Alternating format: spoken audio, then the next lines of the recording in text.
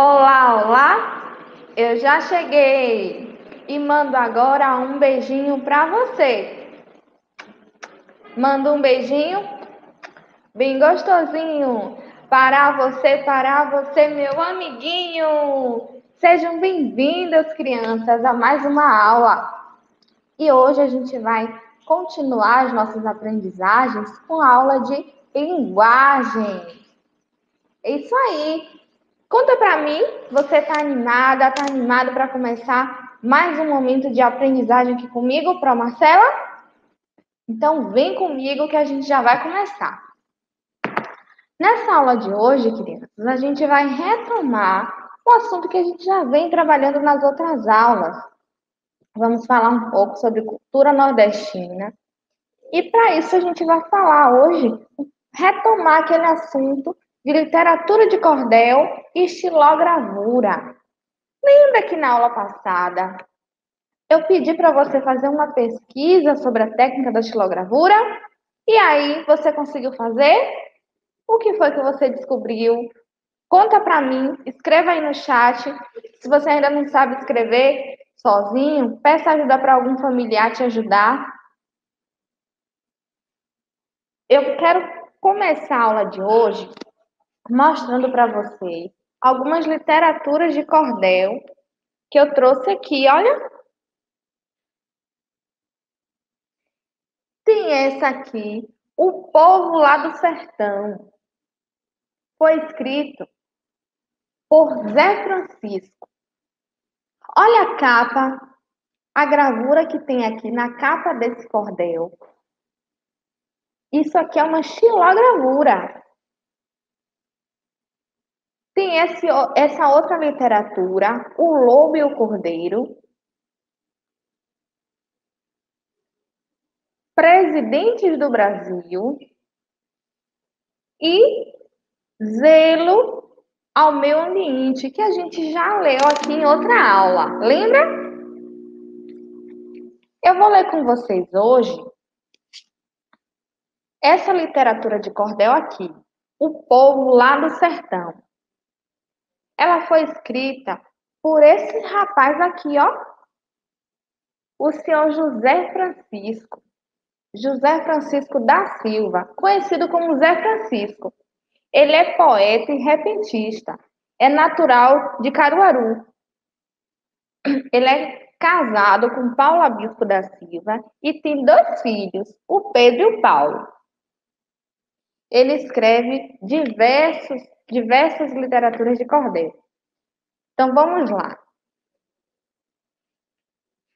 Eu não vou ler, crianças, o cordel inteiro, tá? Eu só vou ler uma parte. Ele é uma. tem diversas estrofes, olha. Mas eu vou ler com vocês só essas últimas páginas aqui, tá bom?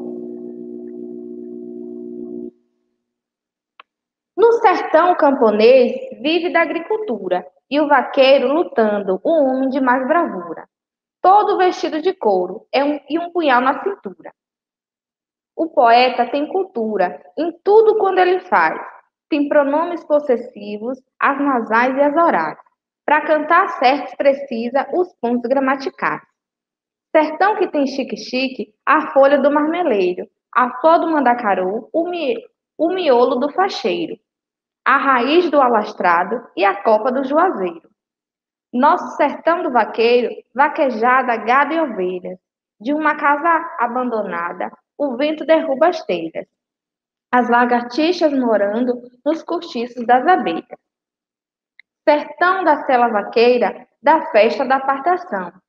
Da carreira do cavalo, do tombo do barbatão. Do azedo da coalhada e do sabor do requeijão. Eu admiro o sertão, o lajedo a verde mata, quando tem água descendo pelo topo da cascada. E a cigarra fazendo uma perfeita serenata. Sertão, gleba luminosa, com a noite enluarada. O silêncio permanece, ninguém escuta zoada. A sombra opaca se ergue no rosto da madrugada. Eu falo do buzeiro, do fruto da umbuzada, da batata branca e fofa, para fazer doce cocada. ainda arranja as abelhas para fazer mel e morada. Então, vocês gostaram? Gostaram dessa literatura de cordel? Conseguiram perceber ali os elementos né, da cultura nordestina, do cotidiano dos nordestinos, que ele vem trazendo aqui nessa literatura? Então vamos lá, crianças. Eu vou mostrar agora para vocês a apresentação que eu preparei para essa aula. Então, hoje, na aula de linguagem, nós vamos abordar o tema xilogravura. Faça você mesmo. Com essa aula, você vai aprender a localizar informações diferentes em, em diferentes tipos de texto, reconhecendo a função social dele. Você também vai aprender a reconhecer e apreciar uma expressão artística reconhecendo essa expressão artística no cotidiano.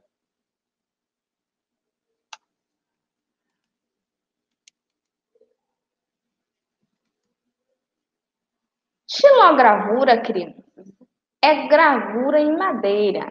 E quem faz a xilografura é o xilógrafo. Lembra? Que a gente já vem trabalhando esse assunto aí na, na última aula. É uma técnica, né, isso, para produzir uma arte, arte visual. Agora eu quero mostrar para vocês alguns exemplos de xilogravura. Olha, olha essa xilogravura. O que, é que ela está representando? Lembrem-se, crianças, que as xilogravuras, elas, de maneira geral, elas retratam elementos da cultura nordestina e também elementos do cotidiano, da natureza do Nordeste.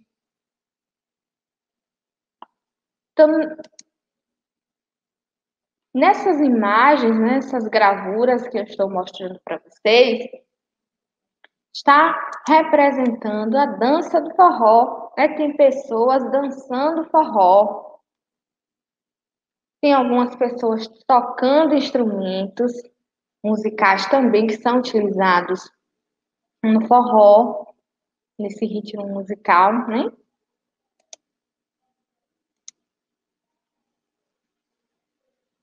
Essa outra xilogravura mostra pra gente a caatinga. Ó, caatinga.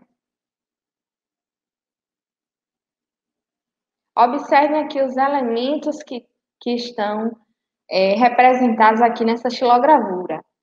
Um passarinho, tá vendo? Olha aqui o cacto, o mandacaru. São elementos típicos desse bioma, né, a caatinga. E olha essa outra xilogravura representando violeiros. Olha, o nome dessa xilogravura é Os Violeiros.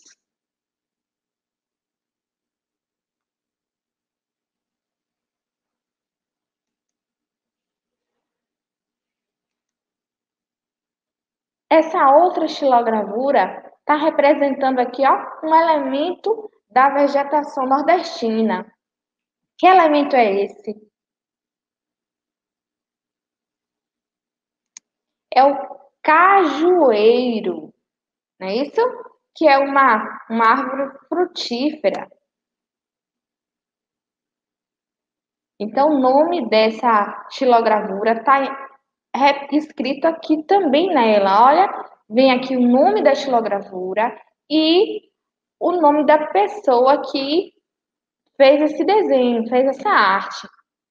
Aqui, o nome está sendo mostrado é cajueiro e quem fez essa arte foi o J. Borges, aquele xilógrafo famoso que a gente viu numa reportagem da aula passada. Lembra dele?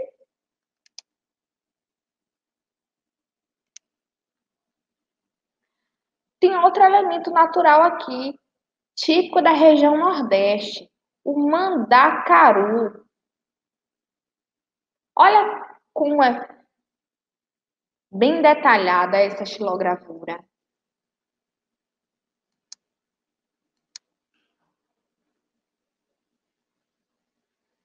Essa outra xilogravura está mostrando aqui pessoas dançando.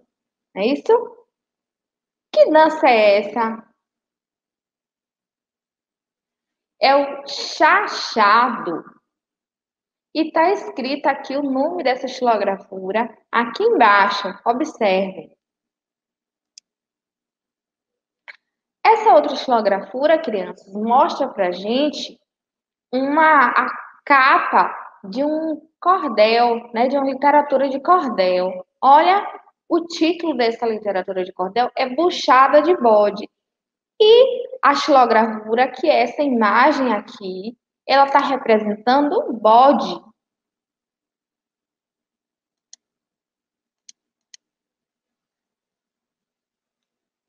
Vejam essas outras xilogravuras aqui, que mostram expressões comuns no vocabulário dos nordestinos. Oxe e oxente.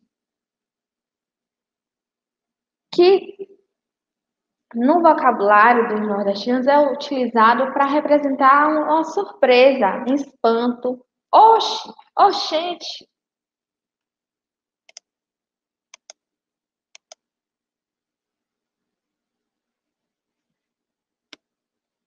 Vejam essa outra xilogravura.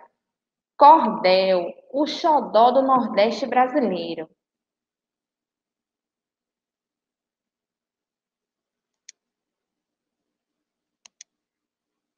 Crianças, vamos retomar aqui a leitura da palavra xilogravura.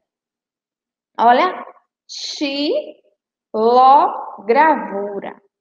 Essa é uma palavra composta ela tem aí a união de duas palavras, estilo e gravura, que significa gravura em madeira. Olha como a gente separa essa palavra em sílabas.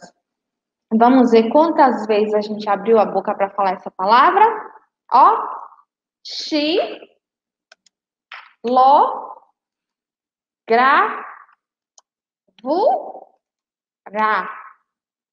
Cinco vezes. Então, uma palavra que tem cinco sílabas. E ela é iniciada com a letra X. Ó, xilogravura. Olha o som da letra X aí no início da palavra. Mas vocês sabiam que tem uma outra técnica, uma outra forma de fazer a gravura que não é utilizando a madeira, é utilizando o isopor. E aí a gente não chama de xilogravura, a gente chama de isogravura. Tá vendo? O que muda na palavra é só essa parte inicial, eu vou trocar estilo por iso. E vai ficar isogravura. A união de duas palavras. Ó, vamos separar? Iso gravura. Também tem cinco sílabas. E isso, gravura, significa gravura no isopor. Observe essa imagem aqui ao lado. Tá vendo como é feita? Agora, crianças, tem uma atividade para vocês. Eu vou pedir para que vocês observem a xilogravura que eu vou mostrar. Você vai observar ela e vai listar os elementos que estão apresentados nessa xilogravura. Tem vários elementos. Observe aí o que é está sendo representado. Eu já vi aí uma lua, um sol, um jumento, um mandacaru, que mais que você está vendo aí nessa imagem? Escreva aí no chat para saber o que é que você já conseguiu identificar.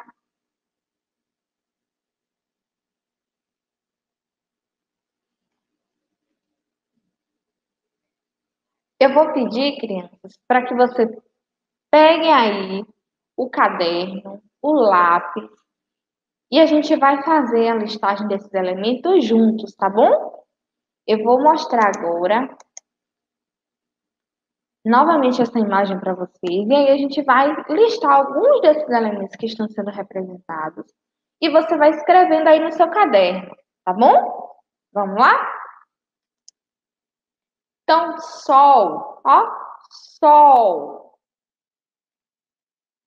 É o primeiro elemento que eu estou identificando aqui. Olha o sol aqui. Lua. Observem aqui a lua sendo representada nesta xilogravura.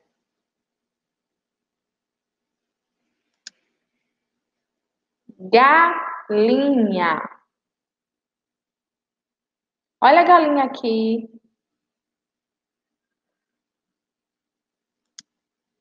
Tem também um galo. Olha o galo aqui, ó. Um Jumento. Olha esse animal aqui sendo representado. Um porco. Porco. Veja aqui também, ó, um cabrito.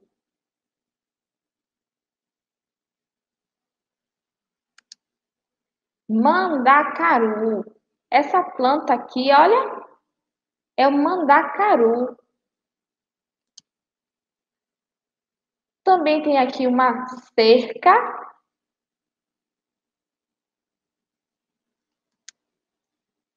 Um homem, ó, que aqui, crianças, a gente vai, vai chamar, vai dizer que aqui é um homem.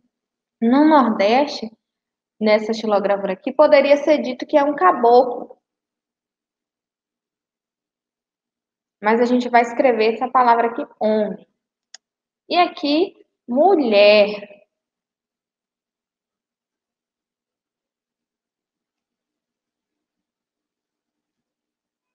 Conseguiu acompanhar a listagem? Se foi muito rápido, você pode pausar o vídeo ou assistir mais uma vez para conseguir acompanhar a escrita dessas palavras, tá certo? Agora, vamos confeccionar uma isogravura? Você já pesquisou, já sabe como é que faz uma xilogravura, que é a gravura em madeira. Agora, crianças, a gente vai fazer uma isogravura, que é gravura no isopor. Vamos lá?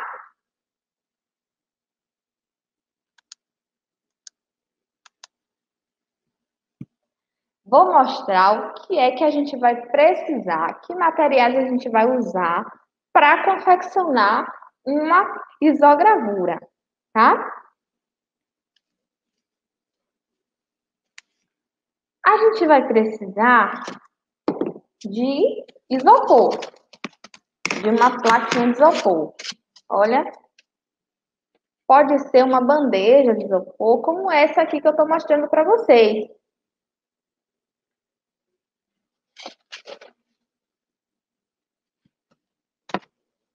Você também vai precisar de uma tesoura.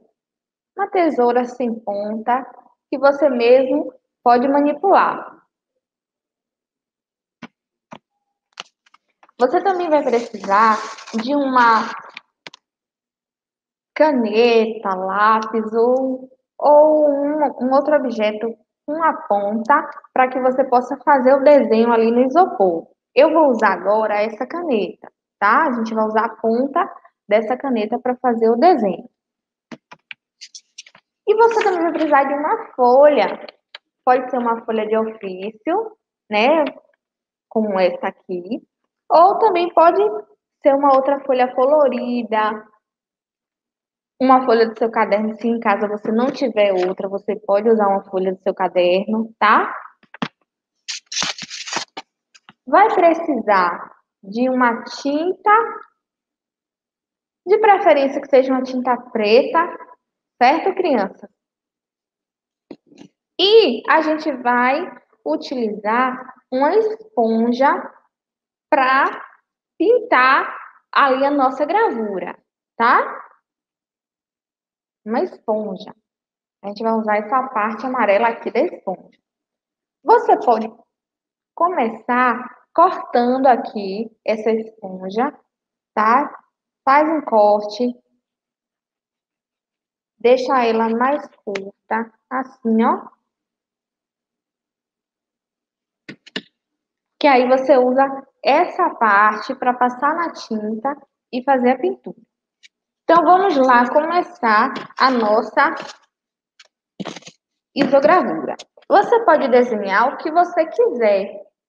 Pode desenhar um sol, uma lua. Eu quero desenhar agora o sol. Então, eu vou pegar aqui essa ponta da caneta. Ou você pode usar também a ponta da tesoura ou a ponta de um lápis para desenhar no isopor. É importante, crianças, que fiquem as marcas no isopor, tá? Uma marca forte, mais funda, que tenha cavidade, para que quando você passe a tinta, ela consiga absorver ali a tinta e quando você for fazer a impressão aqui no papel, fique marcado, porque vai funcionar como se fosse um carimbo, tá? Então, vou desenhar agora um sol.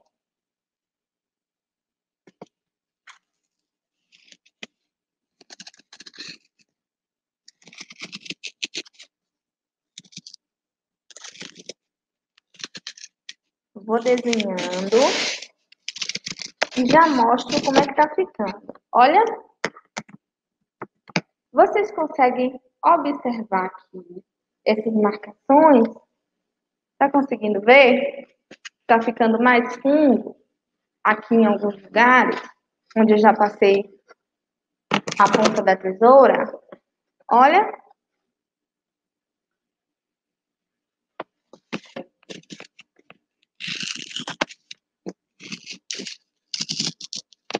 Vou continuar fazendo aqui o desenho. Lembre-se que é importante que fique bem marcado, porque senão não vai conseguir imprimir ali a imagem que você quer.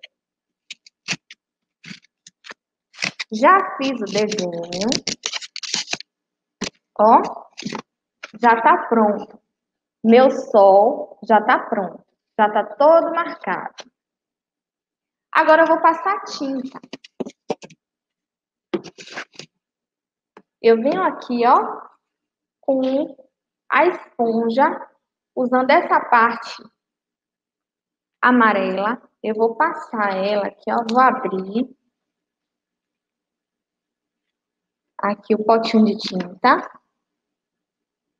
E vim, ó, passando aqui a tinta na esponja, na ponta da esponja.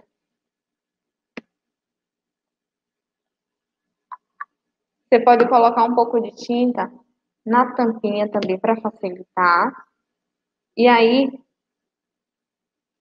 a esponja já está com tinta. Agora você vai vir aqui, ó, passando no seu desenho. Ó, preencha todo o espaço do desenho.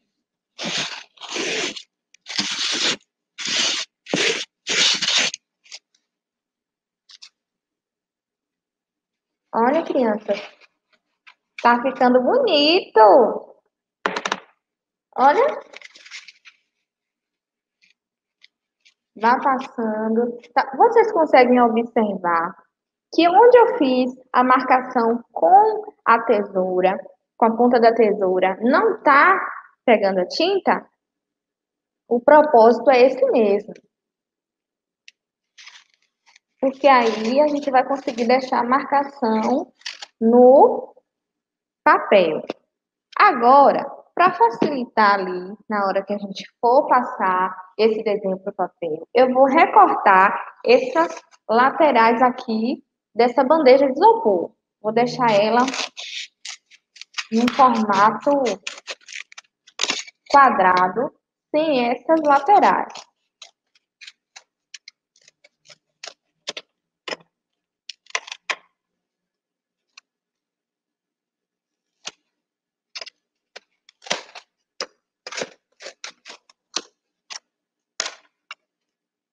Aí de todos os lados, tá?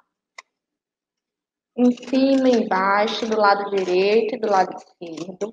Vou retirar as bordas da bandeja. Pronto, agora tá assim, ó. Vamos agora fazer a impressão aqui.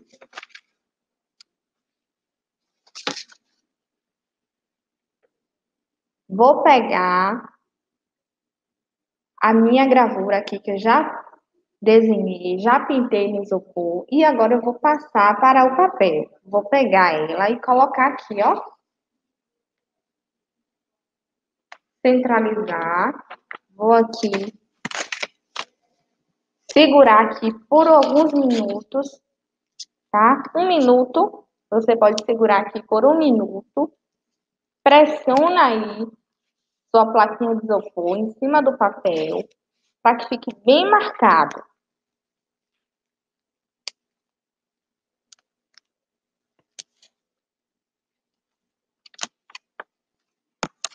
Agora, vamos retirar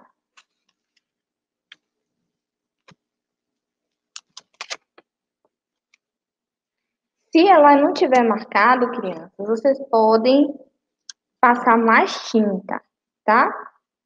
Pode passar mais tinta.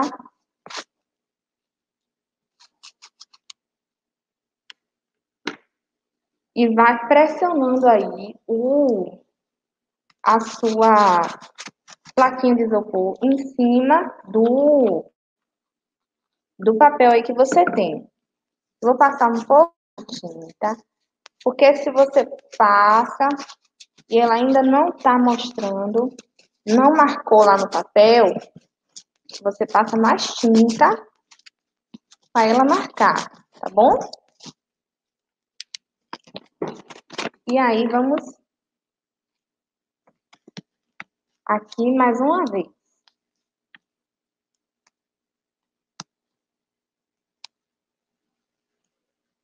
Segura assim, ó, sua placa.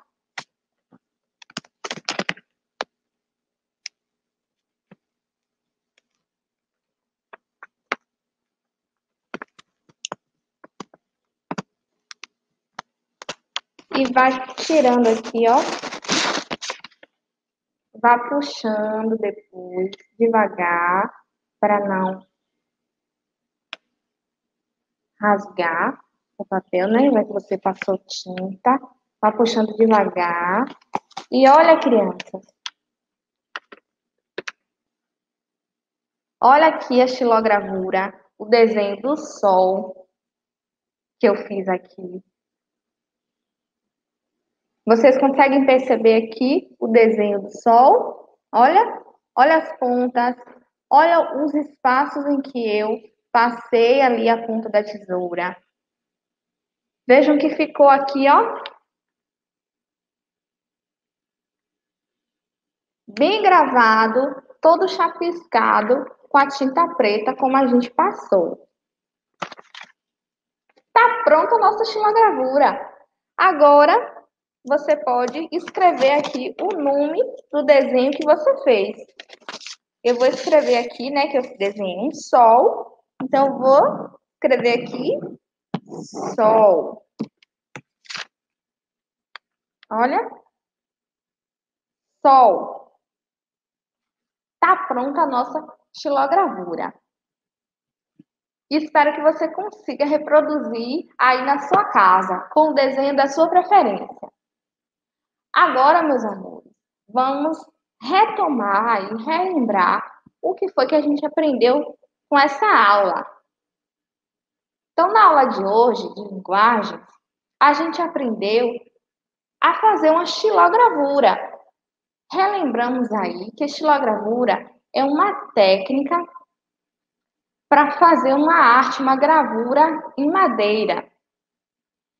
Vimos algumas xilogravuras, vendo que elas representam, retratam imagens do cotidiano da região Nordeste, imagens da cultura nordestina e também de elementos da natureza. A gente viu alguns exemplos de xilogravura e vimos uma variação, que é a isogravura, que é a gravura feita em isopor.